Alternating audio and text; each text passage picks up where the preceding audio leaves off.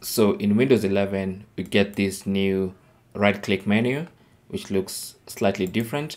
And even when you right click on a file, it looks different. Now, if you want to bring up the good old right click menu from Windows 10 and other versions of Windows, then I'll show you two commands you can use. I have two commands here.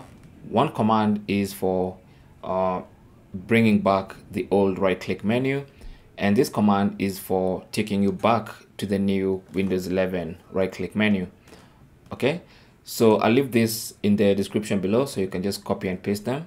And I'll be showing you how to use them. So what you want to do is go to the start menu and then go to uh, the search here and type cmd right click on command prompt and select run as administrator. All right that brings up the command prompt and on the command prompt you want to let's go ahead and copy this one that uh, actually shows the old right click menu. So let's copy that. And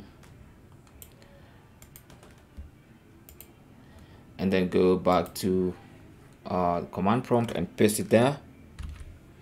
And then press enter. And as you can see the operation completed successfully.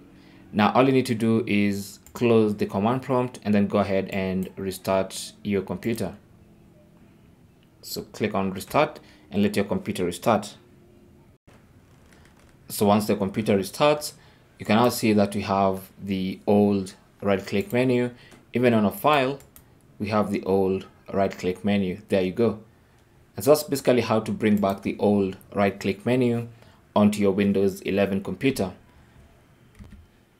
Now, in case you want to bring back the new Windows 11 right click menu, then simply go back uh, to the description in this video and copy this second uh, command. Just copy and paste it in the command prompt. So let's copy and uh, let's go back to launch the command prompt. So start menu, type cmd, right click, run as administrator yes and then in the command prompt go ahead and press ctrl v to paste and then hit enter on your keyboard.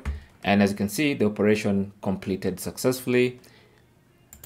Close the command prompt and then once again restart your computer. Go ahead and restart.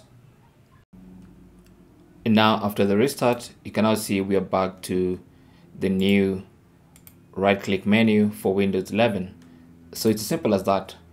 Thanks for watching. Leave your comments and questions down below.